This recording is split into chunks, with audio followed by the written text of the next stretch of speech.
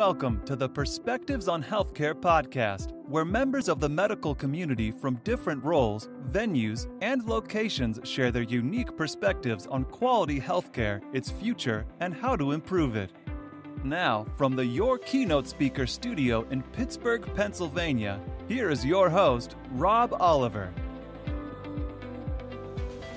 Thank you, and welcome to Perspectives on Healthcare. I'm just I have to tell you, I am super excited about my guest today. And here's why she's someone who literally knew me way back when.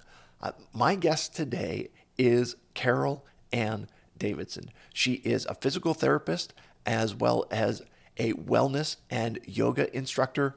Uh, but here's the backstory on this Carol Ann was my physical therapist when I was in rehab immediately following my spinal cord injury. So she was very, very young at the time, and she has not aged at all. She is still just a, a, as young and amazing as I remember her way back on, I won't say how many years ago. Uh, Carol Ann, welcome to the show.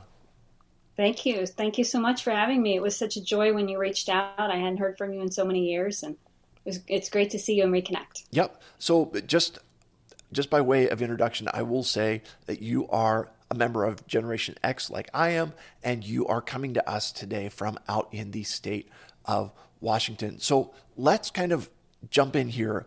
Tell me a little bit about yourself and your role in healthcare, please.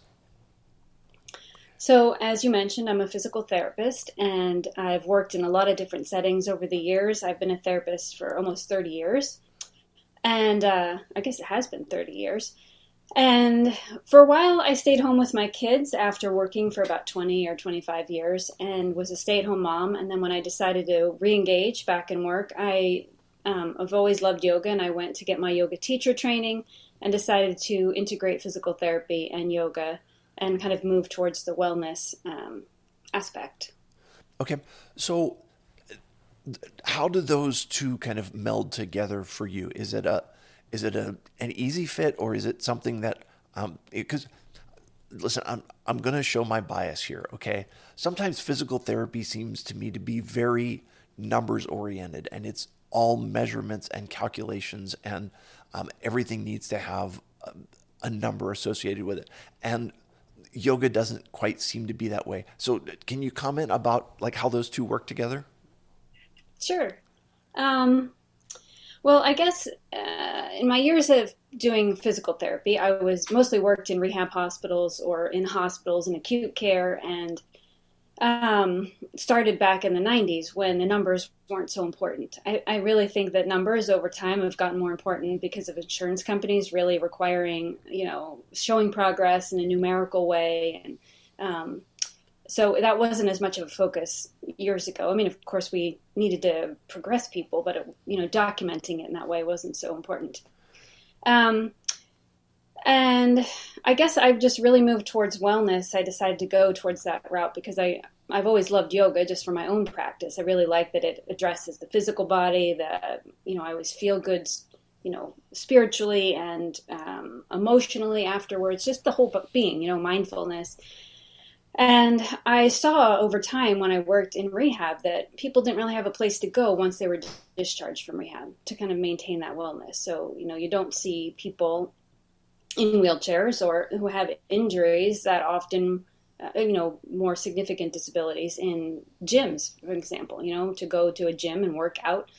And I just felt like there wasn't a place for people to who might be nervous about injuring themselves um, just to continue that process of therapy. You know, you, you get discharged after six or eight weeks, and but you still need to maintain your body and stay physically fit. So I just saw yoga as an avenue to do that, and um, and so really my focus now with the yoga and wellness is working with people. It's either adaptive yoga or seniors who might have some injuries and just feel like I need some someone who knows my body and knows what's going on with me to guide me through how to do this safely and benefit from it. Got it. What does quality healthcare mean to you?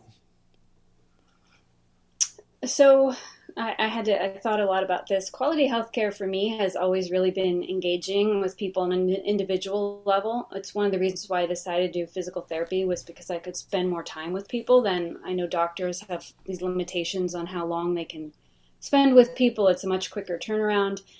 So it's really getting to know people and getting to know their goals, listening to them, um, understanding the context of uh, their lives. I did home care for a long time, which we'll, I'll kind of get into in a minute, but um, I really liked working with people in their environments where I could see what their needs were. Um, so deeply listening to people and understanding their goals and not imposing your own goals on on people. I think that's really important. Yeah, it's it, it's interesting to hear you say that because so often people look at medical professionals and kind of say, they come to the medical professional to say, okay, what should I do? Or, you know, you tell me kind of thing. Mm-hmm. And you're kind of switching that around to say, you, you tell me what you want to do. You set the goals and then we work together to accomplish those. That's a, that's a really cool thing.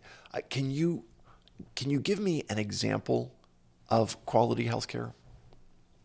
Yeah. Um, so for many years, I worked with an organization called Rehab Without Walls, and it's not located in north in the Northeast right now, um, sadly, but it's it's in the West. I worked for them in California and also here in Washington, and it's a home and community reintegration model. So we worked with people mostly with neurologic disabilities. Um, but we worked in the home and then also we took them out in the community. So there were teams of therapists that worked together, usually PT, OT, sometimes speech. Um, they were individually case managed and we took people wherever they needed to go to work on their goals. So, for example, if somebody had a brain injury and had trouble with concentration or visual issues like scanning the environment, the OT and I would do a co treatment to the grocery store and I would work on walking up the curb, you know, getting the cart, walking through the grocery store, and the OT would, you know, work for scanning for certain items, making sure the person, you know, cognitively could check their list and manage checkout and money and the math. And it was just this really integrated work right where it needed to be for somebody's life. And that was, I worked for them for a very long time in different places. And I just thought it was a wonderful model. Yeah. Yeah. And talk to me a little bit about this because what you're doing is you're moving people out of the hospital environment, out of the medical environment, and moving them into their world and into the real world. And that, uh, that's got to be a, a very fulfilling thing because you're not, it's not academic, it's not theoretical, it's very practical in the nature of what you're doing. Does, is that resonating with you? Oh yeah, absolutely. I mean, I thought back to years when I worked in rehab, like when I worked with you, and we had these, you know, mats that we worked on in the gym, and you know, that's not. then you go to somebody's home, and their bed is in the corner, and they have their nightstand there, and they have a dog to maneuver over, and you know, clothes on the floor, or like a really tiny doorway, and and then their car i remember spending a lot of time working with you trying to get you in and out of the car because you're so tall right um, just how to you know manage people in their own environment is just so different than working in a hospital. It totally opened my eyes to the barriers that people have to deal with in the real world. Sure.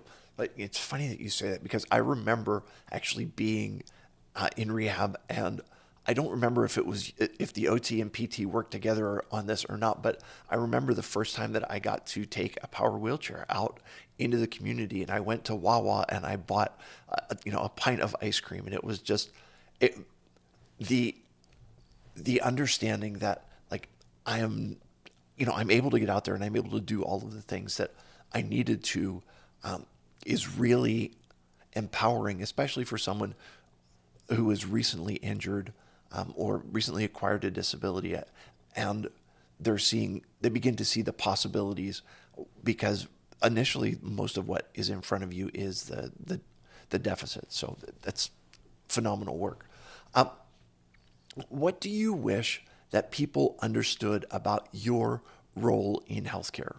And you can take that from physical therapy, from yoga, wellness, uh, or any combination of those that you so choose. That could be a rather long answer. My immediate reaction when I heard this question or read this question was kind of like, well, most people hear I'm a PT and they immediately talk to me about back pain or something that they have like that. And that wasn't the kind of physical therapy I did. So I guess the first thing is really understanding how broad physical therapy is. You know, most people think of it as orthopedic injuries, you know, a shoulder injury or, like I said, back pain. Um, and our expertise in movement science and body mechanics and preventing injury. So, you know, that I would like people to understand. Um, as far as yoga, uh, you know, a lot of people view yoga as um, something just for the 20 year old, super flexible, bendy kind of person, or also view it as a, a religion. And, you know, it's really neither. So, you know, the yoga that I do is really about, um, you know, anybody can do yoga. I mean, yoga can just be even breath practices, really, to just, you know, work on breath work and meditation or um, you can do yoga in bed, you know, with certain stretches and strengthening and for posture. So I just feel like it's much broader than thinking about it, you know, coming into a pretzel shape. Right. you know, it's it's interesting to hear you say that because um, I have a friend of mine who is recovering from COVID and breathing exercises and even just uh, mindfulness in breathing uh, for him are something that, that he's got to work on. And I didn't realize that that is something that's covered in the in the yoga practices that would be beneficial to him. So, a recommendation I will have to make. Yeah, um, yeah. So, tell me what excites you about the future of healthcare. Um, this the focus on wellness really that you know there is more focus than there used to be on wellness and prevention um, and avenues where people really um, they have a lot more choices as far as that goes, and it's more mainstream. So, um, complementary practices like acupuncture, massage, um, meditation classes, mindfulness, um, yeah, breathing practices, all of that I think really can help someone's recovery. And um, so that does excite me. I mean, even Medicare now, you know, there's classes that are covered under Medicare under the Silver Sneakers program. And so um, so yeah, I really I see that as exciting in healthcare. Yeah. So can you talk a little bit about that because that's really an expansion of where medicine has been. It, it was that medicine is looking at diagnosis codes and treatment plans, and um, in some ways you're, you're looking to you know to address symptoms. To move to that preventative medicine model is is really unique and different. Can can you just talk about that a little bit, if you don't mind? Well, um, yeah, I, I, think that uh, first of all, I think sadly it's largely, maybe not largely, but it is driven by insurance companies, and that is something else I wanted to say about when you asked me something you I wish people understood. Um, I think that so many so many of us who went into healthcare really want to help our patients. And some of the challenges with healthcare, when I hear other people complain about it, I feel are more related to the system than people who really want to help. I, I view that most people that choose to go into healthcare really, truly, in their hearts, do want to help people. And it's just the sad state of the system. But I do think, uh, just get back to your wellness thing, I think that people have recognized that spending money you know, and um, helping people to go to exercise classes or have these other avenues to stay well before they get injured actually help save save money in, from the insurance companies. So I think that's largely where it's been driven, but it's also consumer driven, people asking for it, and much more with social media, people recognizing and knowing what their options are. Yeah, I mean, when I was a kid, you, you always learned that an ounce of prevention is worth a pound of cure. And so, in that way, um, you're looking at what can be money that is invested in people's health and wellness today is something that um, can, it's not going to eliminate all future medical expenses, obviously, um, but it's going to be something that, that makes a huge difference um, in the future.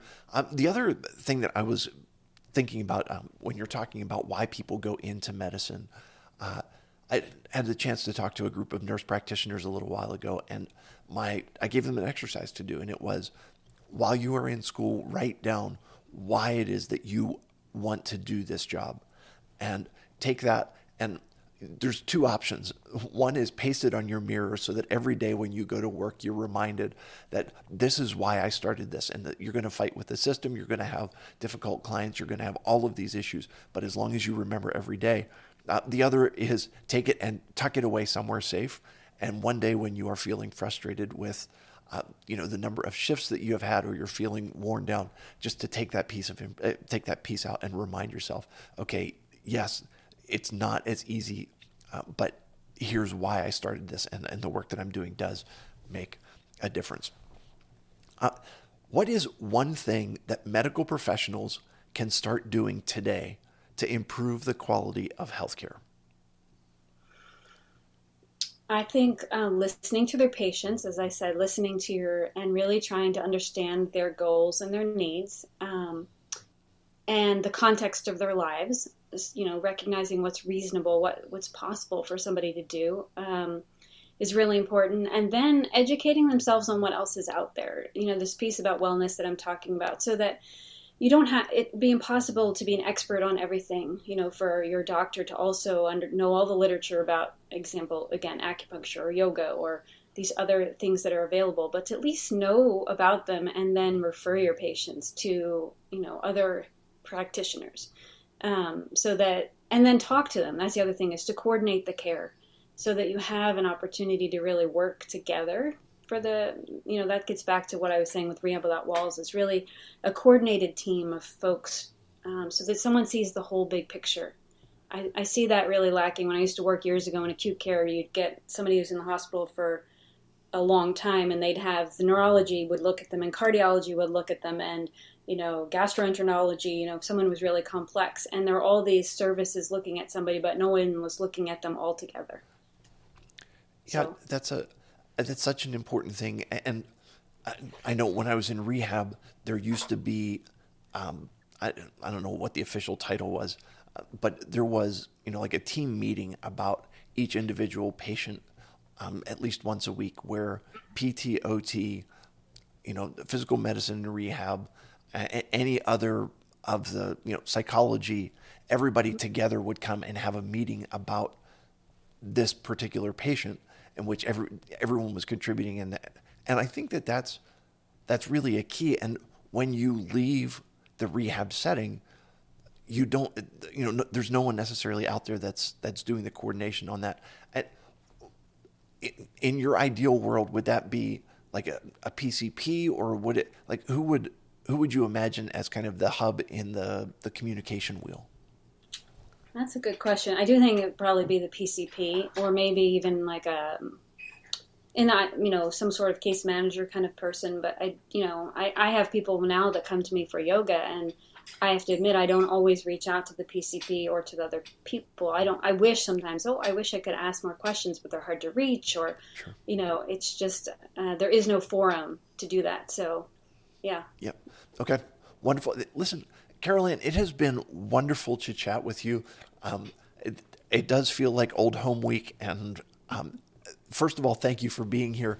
Uh, second of all, thank you for the amazing impact that you have had on my life um, uh, from being a part of my rehab from the very beginning. And uh, lastly, I just I appreciate you coming on and sharing your perspective on healthcare.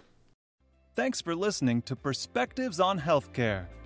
Visit perspectivesonhealthcare.com to learn more about Rob Oliver or to subscribe so you never miss an episode. If this podcast was valuable, we'd appreciate a review on iTunes. Or if you tell a friend or coworker about the show, that would be helpful too. Join us again next time for more Perspectives on Healthcare.